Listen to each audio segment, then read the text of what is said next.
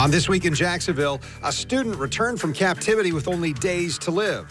A shooter firing on members of Congress and their staff at a baseball practice. Tragedies, perhaps bringing opposing sides together in American politics. It's a total disgrace what happened to Otto. What do you think about someone who comes back totally incomprehensible and with significant brain damage? What would you describe it as? It clearly indicates that he was mistreated uh, by the regime, which led to his death. It's a tragic, tragic circumstance. Former Congressman Ander Crenshaw weighs in on the Capitol conversations that may be happening right now following those tragedies. Plus, Florida Tax Watch delivering an end of session memo and where the organization thinks the Sunshine State succeeded or failed in 2017. All that on This Week in Jacksonville right now. Thanks for joining us. Our guest this morning, Jacksonville's Ander Crenshaw, former U.S. Representative, and if we really want to go back a little bit, former Senate President in Florida, officially retired from uh, Congress, but willing to share some of his perspective with us this morning. When you announced a year ago that you were not going to run for re-election, uh, you said it was it was time. You felt like it, it, was time to move on. There was some speculation that maybe it had gotten so divisive there uh, in Washington that uh, kind of you'd had enough. Tell me some of your perspective since we've got a new administration administration, new Congress, new Senate, there's been a lot of division. And uh, is it worse? Some people say it's worse than it's ever been. What do you think? Well, I, I, saw it getting worse and worse my last five or six years there. Uh, people have strongly held beliefs. Uh, that's appropriate. Uh, people have differing views. That's appropriate. The great thing about America is you can sit down, you can exchange views, you can associate with who you want to, but nobody doubts the fact that we've gotten to a, a, pretty low place in political discourse today. That's not why I decided to leave, but it's one of the things that I didn't like about Congress, the partisanship, uh, the vitriol. Uh, just, just, just seemed to me that it was hard for people to agree in a, not disagree, uh, but always demonizing the other person, uh, saying not just that they're wrong, uh, but that they're bad people. And somehow it's got to start with each individual, a little humility to say, let's sit down and listen. I tried to do that when I was in Congress. You work across the aisle, you don't give up your deeply held beliefs, but you try to find areas that you can get along and work together, and we did that. Well, and what I've seen, and you mentioned the last few years, what I've seen is even within uh, the same party, if you're too close to the center, the other side, the extreme side is going to say you're not really one of us, and, and it seems like a lot of things weren't happening. Let's talk about something that's not really happening right now. We've heard uh, the Republicans who were uh, ushered in at the start of the year said we are going to repeal and replace when it come to the, came to the Affordable Care Act. Uh, still nothing happening right there. Is it just that hard to make a big change, or is it because of these other things going on, a, a investigation here or a, a, tweet there? Well, it's all it's all kind of part of the, the big problem. Uh, but with healthcare, it's a very, very difficult situation. It's about 20% of our overall economy. And when you tamper with it, uh, a lot of good things happen, a lot of bad things happen. Most people would agree that Obamacare uh, hasn't worked the way it was supposed to work. You've got insurance companies that are pulling out. People can't find coverage. So something needs to change. And of course, Republicans said for seven years we ought to repeal it and replace it with something that works. Uh, the problem is it's easy to repeal it. It's hard to find a way to replace it to make it better. Yeah. Would you be voting in favor of something new if you were still there in Washington right now? I, I think I think I would certainly have said it ought to be replaced, uh, but the details are always where the problem is. And you got a House version, it's passed. Now the Senate's coming up with its own version, uh, and nobody even knows what that looks like yet. So most of the senators are going to have to say, let's see what it looks like, and then I'll decide whether I'm yes or no. Yeah, one of the things that, that I alluded to a moment ago was uh, this partisan divide just more than a week ago, as, as we sit and visit today, uh, there was the shooting at the baseball practice for the Republicans who were getting ready for the congressional baseball game. Uh, obviously a tragedy, but what we saw in the wake of that was the actual game raised three times as much as it had raised the year before for some charitable organizations. One and a half million dollars that it, it raised. And I guess I'm curious your perspective. A lot of the folks there said, you know, this is a wake-up call, and we realize we can't vilify somebody on the other side of the aisle anymore because it leads to maybe something that's violent like this. Is this a game changer, so to speak, and pardon the pun? Well, I, I think it'll make people think. Uh, in 2011, if you remember, uh, Gabby Giffords was shot. Uh, I was chairman of the Legislative Appropriations Subcommittee that funds all the individual offices, and there was a lot of discussion about uh, what should we do about individual members. Can we give them more security? More security yeah. And so that will be talked about. Uh, and you mentioned a wake-up call. I'd say, yeah, it is a wake-up call, but somehow it has to start with each individual. And, and, one of the interesting things, Kent, about the baseball game, it's one of the few times that members get together from different sides of the aisle and, and play baseball. You get to know people on a personal level. And if you know somebody and you met their wife, you know about their kids, it's hard to stand on the floor and vilify them and call them evil. So if there was a little more of that, uh, there are other things. They have a softball game. There's a golf match between the Democrats and Republicans. Uh, those are times when members can actually get to know each other because the rest of the time you're just so busy. Yeah. You're just so busy going to meetings and doing things, you don't have time to sit down and get to know people on a human level. Yeah, getting to know someone is a pretty important factor there. Final thing for our time together here Otto Warmbier was a, a young man, uh, was convicted uh, in North Korea, spent 17 months there, and then when he came back, uh, was injured uh, to the point or ill to the point that he never recovered and he passed away. Tell me about what you think should happen here. There's a, a lot of reaction coming. How should America respond to North Korea here? Because uh, a lot of your former colleagues are saying we've got to hold that country accountable for this guy's death. Well, Kent, when, when I see those pictures, when I read about what went on, it, it, it, it, sickens me. I mean, it's, it's disgraceful, it's disgusting, it makes you angry. Yeah. And we know uh, that North Korea is, is an utterly corrupt regime. We, we know how they treat people.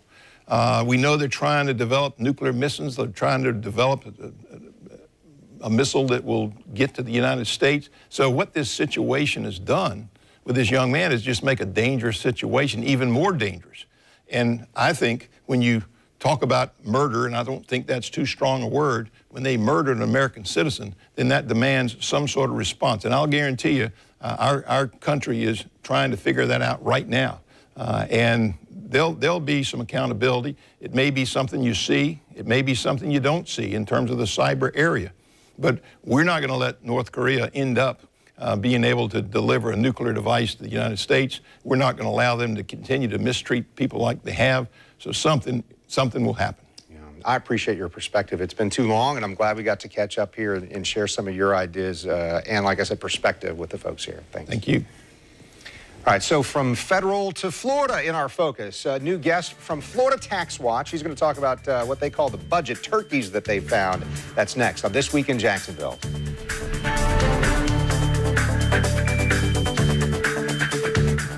Harrell and Harrell is a personal injury law firm that fights for truth, safety, and justice. That's what we do.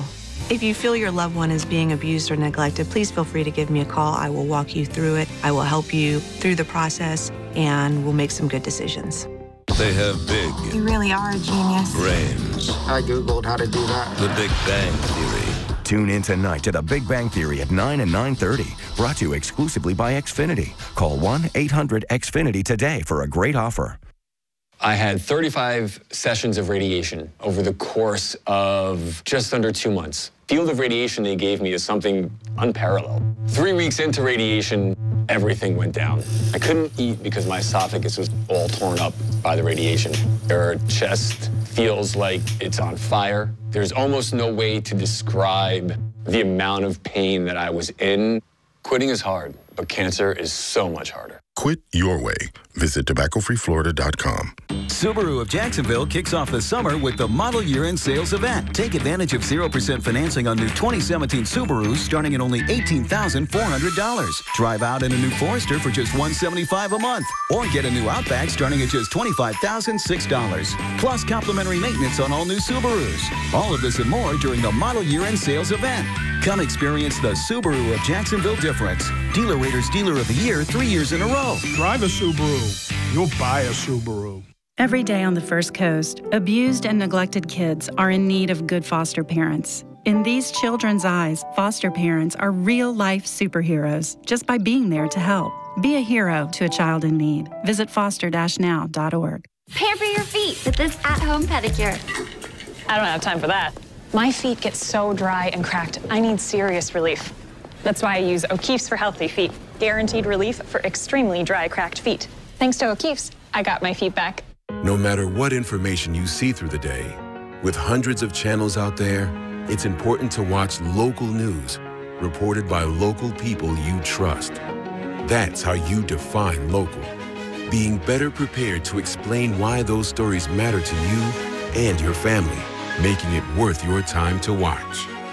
That's our promise and our commitment to you every day. Channel 4, the local station. You're watching This Week in Jacksonville with Kent Justice. And we're introducing you this morning to Florida Tax Watch, the mission to provide the citizens of Florida and public officials with high quality, independent research and analysis of issues related to state and local government taxation, expenditures, policies, and programs. All right, so what does all that mean? Let's ask their leader, Dominic Calabro, joining us for the first time this week. I appreciate you uh, making the drive and, and, being with us this morning. Uh, so, uh, as I read uh, on the website, the purpose improving taxpayer value, government accountability, citizen understanding. How do you do that? And are you truly independent or is it a partisan group? Absolutely independent.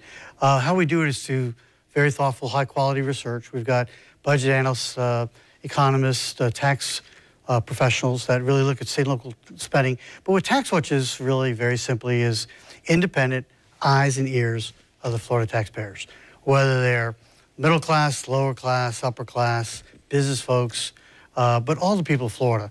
And it was formed really from both uh, Democrats and Republicans coming together. Uh, it was a Democratic Senate President, Phil Lewis, with a Republican Minority Leader, Ken Plante from Orlando. But the founding really has a lot to do with Jacksonville.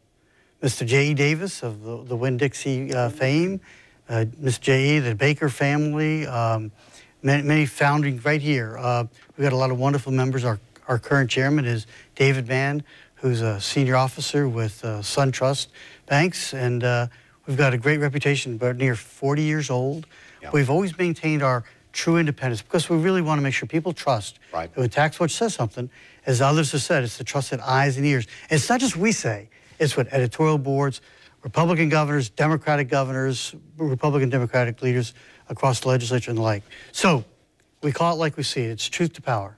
Tell me what you saw this year when it came to legislative session and special session, mm-hmm. uh, because you guys do something called budget turkeys at the end. So, what did you find there? Well, first of all, TaxWatch does some unusual things. We have a productivity awards, which will have occurred uh, this uh, this past Friday uh, where we recognized some of the most outstanding government employees in the, in the Jacksonville First Coast area. So TaxWatch, because it was originally named after the Davis family, it's now called the Prudential Productivity Awards. We recognize, reward, and replicate excellence. So we're all about seeing what's good about our government, rewarding and replicating it and celebrating it.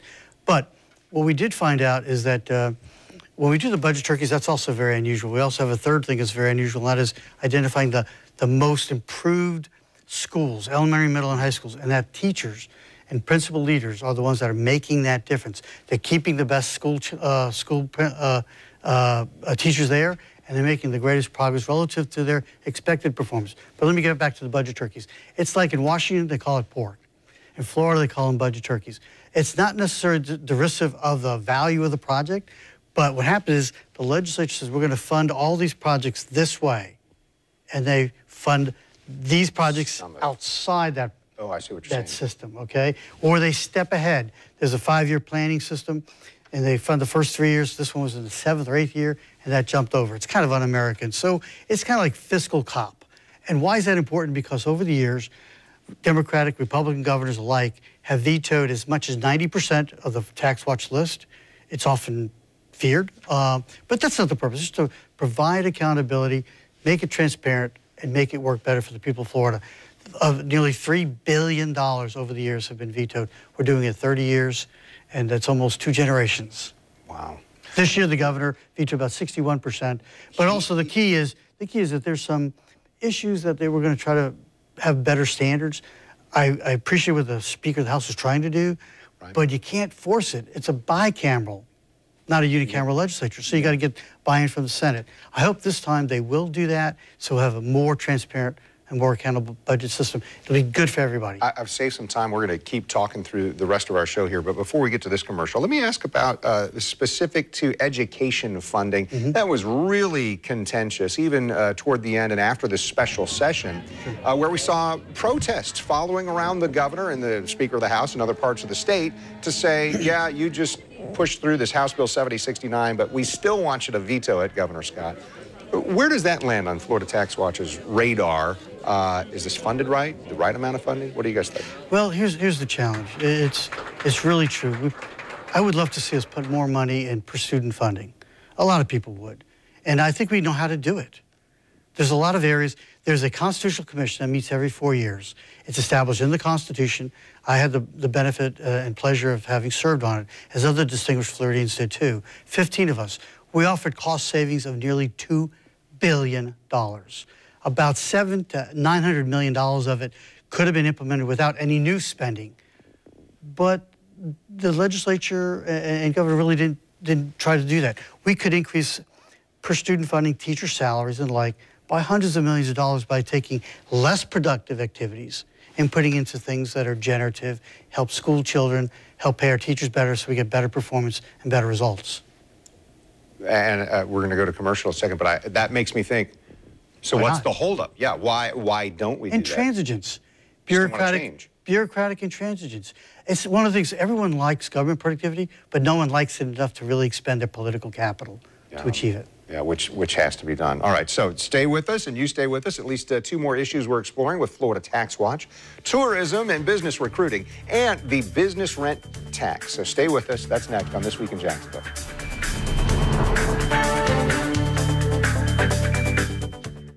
Celebrate summer at Pollo Tropical with our original family meal. Feed your loved ones with a whole fire-grilled marinated chicken, rice, corn, and rolls for only $12.99. Only for a limited time. Pollo Tropical, chicken on the grill. This is a ClassAction.com consumer alert. Homes built before 1975 may have pipe erosion that can cause major water damage to your home. If you have water damage, warped floors, slow drains, or even a water stained wall, you may have leaking pipes below your foundation, right under your feet. It's not a matter of if, it's a matter of when. Call or visit pipelawsuit.com now to learn more.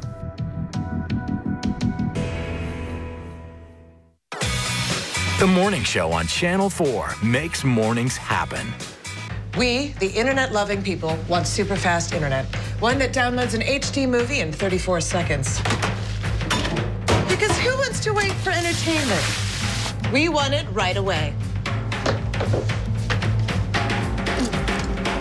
So we can watch and enjoy the second we want to. Right, buddy? Can I have another juice box? You're going up so fast. Experience super fast internet. AT&T Fiber.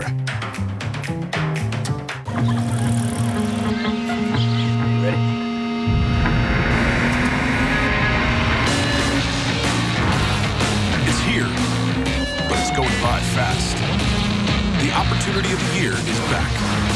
The Mercedes-Benz Summer Event.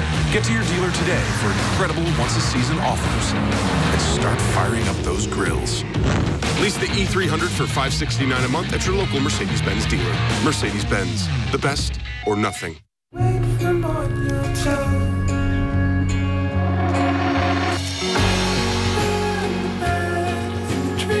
It isn't just about vision. It's about care. Nobody cares for eyes more than Pearl.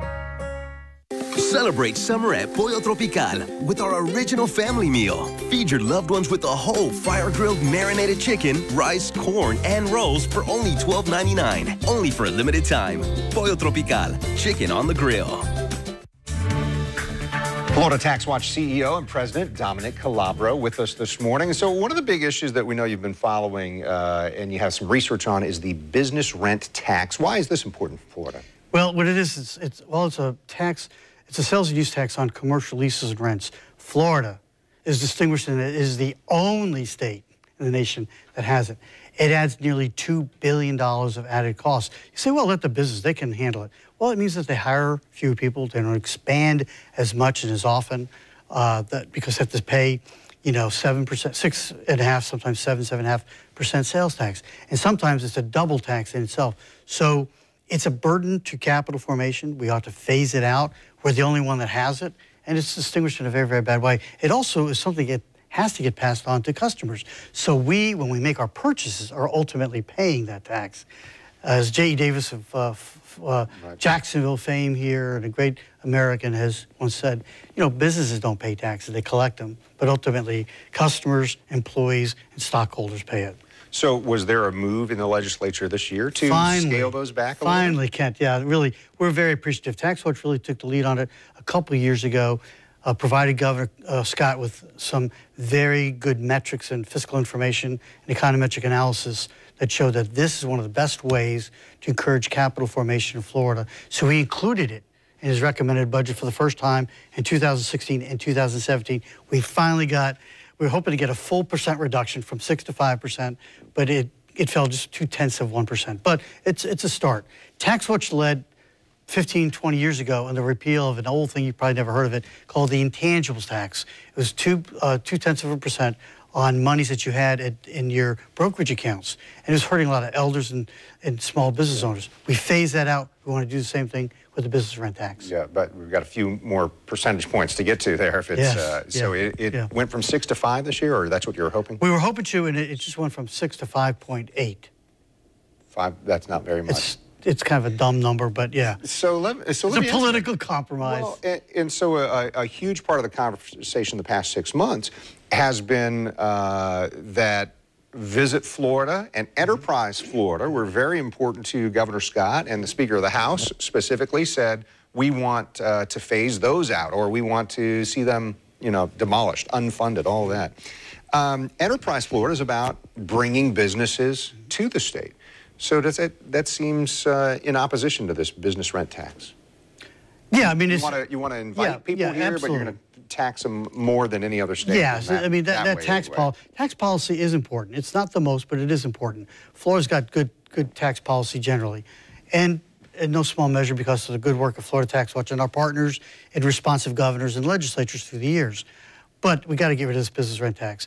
But the whole idea of funding the Enterprise Florida and the co- basically the old Commerce Department um, is to make sure that we're welcoming. And Governor Scott, like no governor maybe before him, really has made this his mission jobs, jobs, jobs.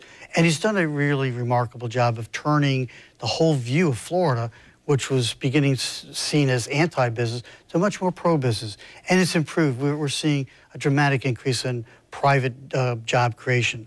So the Enterprise Florida is a model that does several things. One, it has some incentives that the legislature appropriated, and I'm glad that they made a modification to it.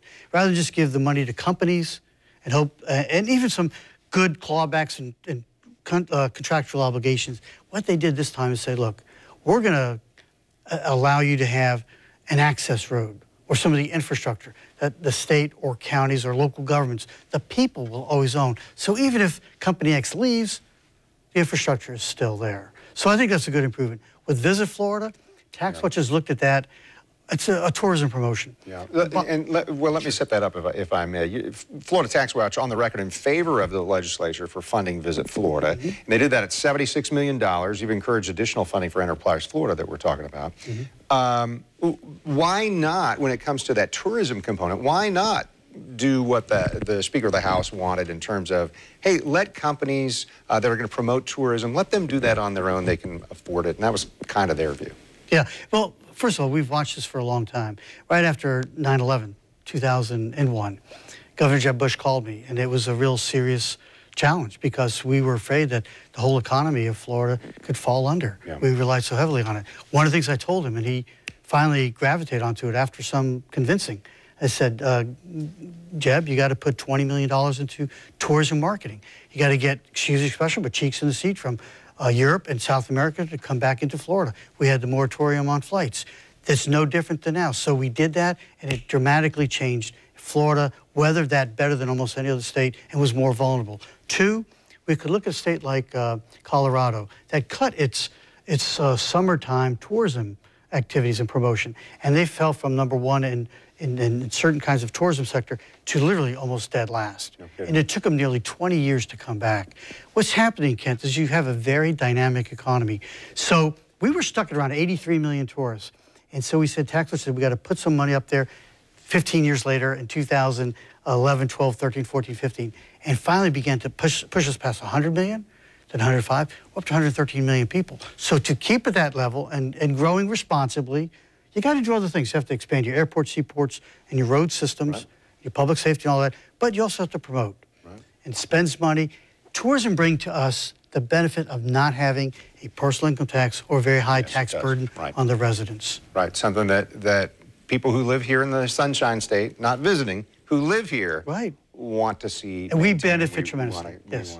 So this has been great. This is our first chance to get to visit together like this. I appreciate it. I know it uh, takes you away from where you guys are headquartered, but uh, you made time it's for us. It's great here. Great. And, uh, Thanks uh, for the invite. good stuff. So thank you for uh, laying all that out for us, and we'll talk again if that's all right with you. Thank you. Absolutely. All right, thanks. thanks. Now, this week in Jacksonville airs each Sunday morning at this time. We're working on the next few shows, including next time we've got the incoming president of Jacksonville City Council, Anna Brosche. She'll be with us and other guests as well. I'm Kent Justice. Thanks for watching. We're on air on Channel 4 and online at news4jax.com.